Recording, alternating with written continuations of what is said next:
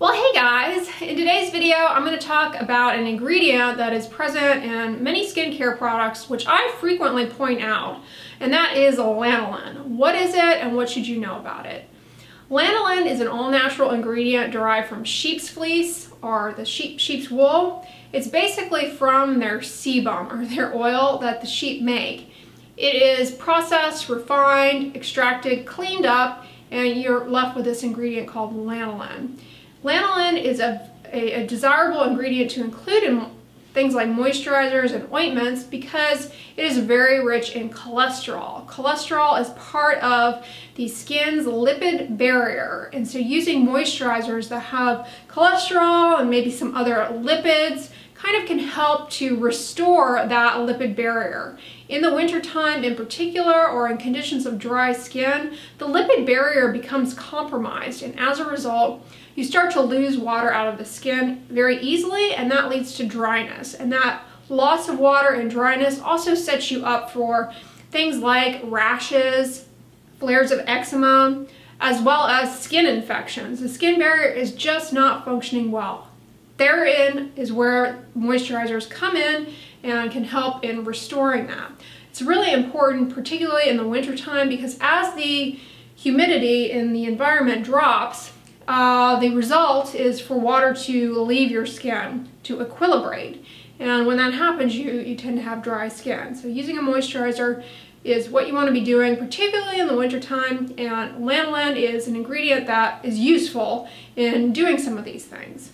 Now the principal component of lanolin is something called wool alcohol and the problem with lanolin as an ingredient is that wool alcohols actually can be sensitizing, meaning they can kind of beckon your immune system to come in and say, hey, we don't like this and we're going to mount a, a, response against it. And that's how people can then go on to develop an allergy to lanolin. So lanolin, while a great ingredient in moisturizers and whatnot, is not without risk. And then the major risk of using a moisturizer that has lanolin or any skincare product personal care product that has lanolin is that you can become sensitized to it and subsequently allergic to that ingredient. And therefore, when that happens, every time you use a product or come in contact with a product that has lanolin in it, you will develop a rash and be very uncomfortable and make it really challenging for you to navigate skincare products.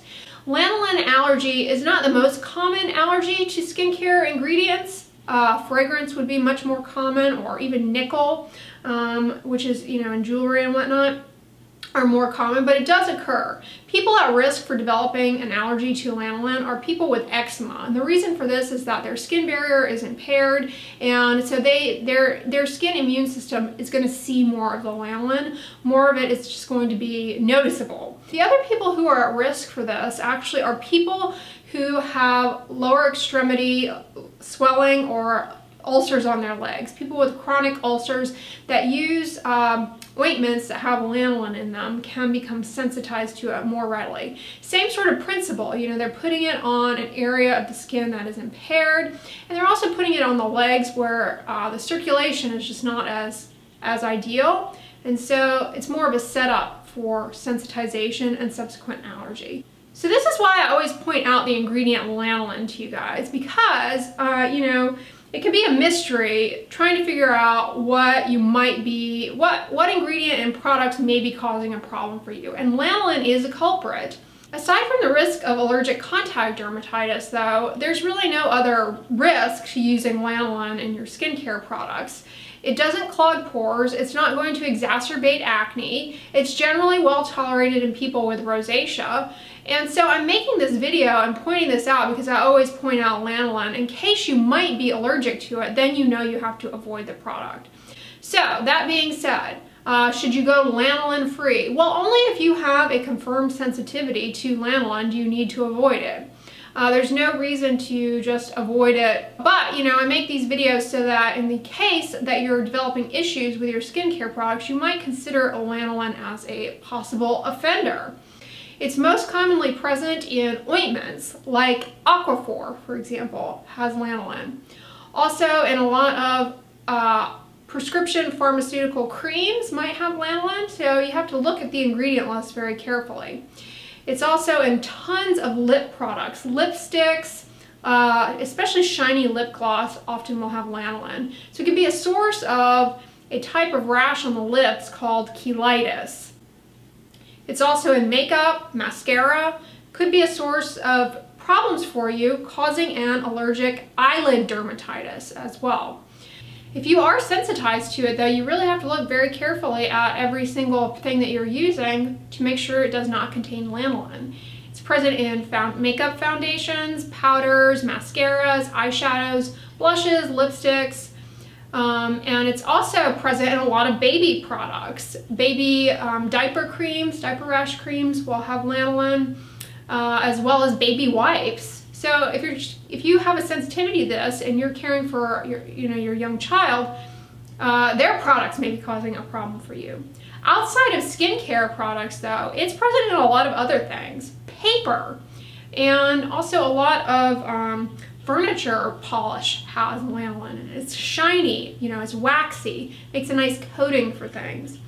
And it's also in leather, uh, it's used as a coating on leather, and it's also in a lot of lubricants. So you have to read ingredients very carefully, and sometimes things that you may not even be really aware of you're coming in contact with might have some called lanolin in there. So you can see, in a situation where you are allergic to it, you really have to do diligence to avoid it. So, you know, I want to make this video for you guys to explain the ingredient because I often point it out. But when I point it out, that's not to tell you this is a bad ingredient, you have to avoid it. It's merely to point it out in the case that you do in fact have a sensitivity to lanolin, then you know not to, not to invest your time and energy into that product. That's why I always point it out. The other reason you may want to avoid it is if you follow a vegan lifestyle and you are choosing to have vegan skincare products, lanolin is obviously not going to be vegan. It is derived from sheep's fleece. So how do you know if you're sensitized to or, or allergic to a lanolin? In the case that you may have developed a rash to, to, things that you're using, how do you know it's lanolin and not something else? Really the only way to know is to see a dermatologist who does what's called patch testing. And what this is, is a type of test where um, different ingredients are put onto your back and those ingredients are some of the most common ingredients that people become sensitized and allergic to. So it's a little test and then the dermatologist, after, after you've had those patches on for a couple of days, we take them off and we look to see if you're having little rashes in the areas where the patches with the certain ingredients were. So it's a little bit of a of a puzzle that we um, begin to attempt to solve. Lanolin is something that is tested for on that series. However, uh, it's not perfect because the lanolin that is commonly tested, the mixture of, of lanolin that is commonly put on there, will miss some cases of lanolin allergy because uh, there are, as you can imagine, lanolin, because it's natural, it's not a pure substance, and each time lanolin is is made from, you know, a different sheep, it's going to be slightly different. So some people with lanolin allergy might actually have a false negative lanolin patch test.